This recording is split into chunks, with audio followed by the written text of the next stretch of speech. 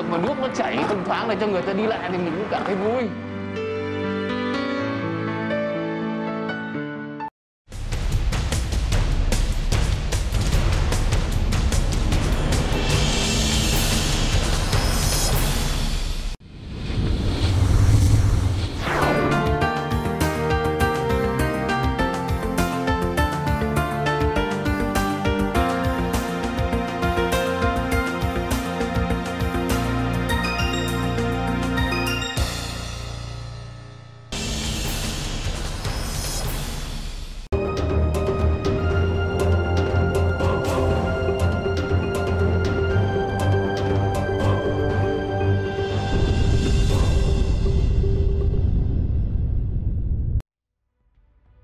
Nắng nóng kết hợp với gió, cộng với tác nhân gây cháy do con người vô ý gây ra nên đã xảy ra cháy rừng ở nhiều địa phương.